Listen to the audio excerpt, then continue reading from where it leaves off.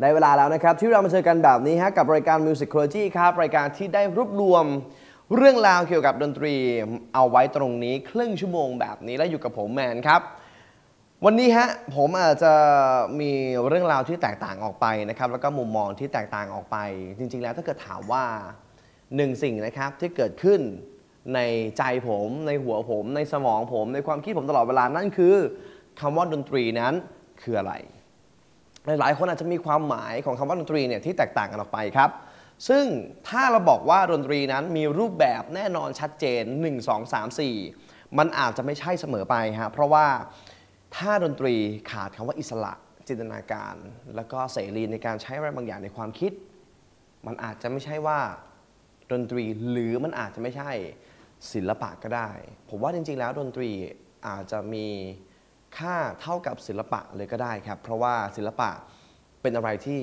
คุณนั้นคิดและจินตนาการแล้วก็สร้างขึ้นมา ไม่ต่างจากดนตรีครับ วันนี้ฮะผมมีดนตรีอีกหนึ่งแบบที่ถูกสร้างสรรค์ขึ้นมาบนโลกใบนี้ จริง ๆ แล้วเนี่ยมันอาจจะแตกต่างออกไปครับ เป็นเรื่องที่ซิมเปิลมาก ๆ หรือว่าง่ายมาก ๆ แต่มันก็แปลกออกไปเหมือนกัน ซึ่งเสียงดนตรีเหล่านี้ครับถูกสร้างขึ้นมาจากเศษเหล็กเพียงไม่กี่ชิ้น แต่กลายมาเป็นดนตรี ที่เขาเรียกกันว่า เพลง 8 บิตครับ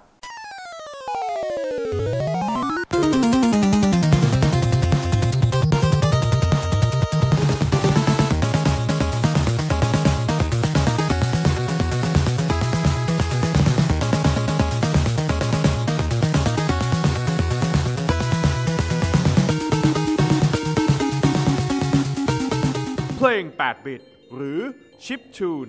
คือบทเพลงจากเกมที่มีอิทธิพลต่อวงการเพลงอย่างมาก ตั้งแต่ยุค 70 เป็นต้นมา ซึ่งคุณผู้ชมหลายๆ คนอาจจะเชื่อได้ยากสักหน่อยนะครับว่า แค่เสียงจากคอมพิวเตอร์เครื่องเล็กๆ จะสามารถขับเคลื่อนวงการเพลงทั่วโลกไม่มากก็น้อยได้อย่างไร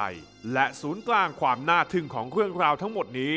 ต้องเริ่มจากช่วงยุค 70 ในประเทศญี่ปุ่น ประเทศเล็กๆ ที่กำลังจะเติบโตอย่างรวดเร็ว ด้วยเทคโนโลยีและอุตสาหกรรมที่เปลี่ยนแปลงโลกทั้งใบ นั่นก็คือเกม arcade ตู้เกมที่เด็กๆทุกคน ต่างต้องการจะสัมผัสสักครั้ง ด้วยความน่าทึ่งของภาพและเสียง sound effect ที่น่าตื่นตาตื่นใจ เกมที่มีเสียงเป็นเกมแรกก็คือเกม Pong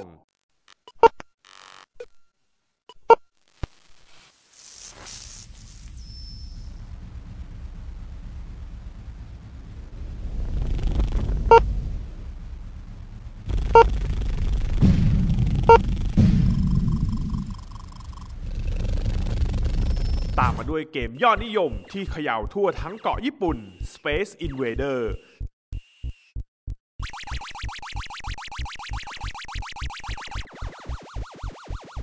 ถึงขนาดมีข่าวลือว่า เหรียญ 100 เยน แทบจะขาดแคลนจากตลาดกันเลยทีเดียว ในเวลาต่อมา Rally X คือเกมแรกที่มีเพลง background ตลอดทั้งเกม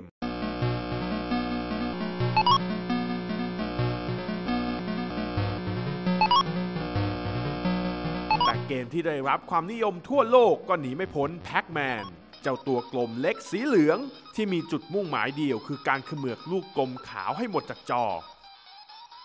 และด้วยการแพร่กระจายที่เหมือนไวรัสนี่เอง ที่มีอิทธิพลต่อวงการเพลงแนวอื่นๆ มากมาย ไม่ว่าจะเป็นฮิปฮอป Konami games are, are very action orientated. เร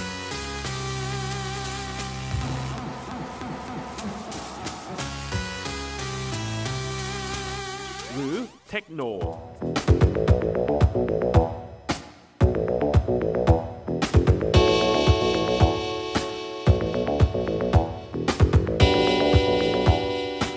และหนึ่งในบุคคลกลุ่มแรกๆ ที่มีอยู่เบื้องหลังเพลงเกมในยุคนั้นก็คือจุงโกะโอซาวะ และฮิโรคาสึทานากะ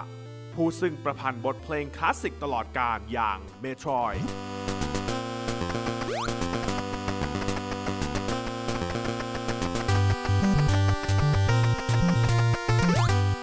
เทอร์ติส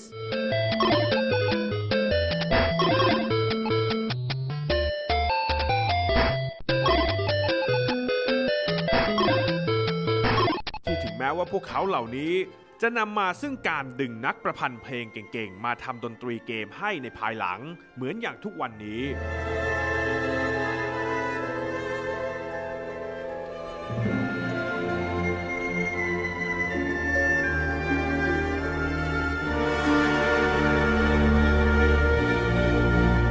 แต่ความน่าทึ่งกับเทียบกันไม่ได้ เมื่อได้เห็นถึงขั้นตอนในการแต่งเพลง ไม่ใช่ด้วยตัวโน้ต แต่ด้วยรูปแบบของเวฟฟอร์มที่สลับซับซ้อน ความน่ามหัศจรรย์อีกอย่างหนึ่งของดนตรีชิปทูนหรือ 8 บิต คือไม่ว่าการเวลาจะผ่านไปนานสักแค่ไหน เทคโนโลยีจะก้าวล้ำไปเพียงใด แต่ดนตรี 8 บิต ก็มีมนต์เสน่ห์บางอย่างที่ไม่มีดนตรียุคไหนสามารถเรียนแบบได้ จนถึงขั้นมีนักดนตรีนำไปทำเป็นวง 8 บิตโดยเฉพาะ อย่างวง YMCK ที่นำดนตรี 8 บิตมารวมกับดนตรีสมัยใหม่ได้อย่างน่าสนใจ 見たこともない路地の裏側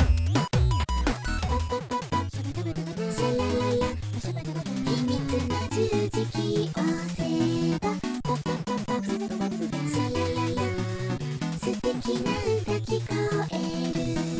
นี่แหละครับที่เรียกว่าความแปลกใหม่ของโลกใบนี้ ความน่าทึ่ง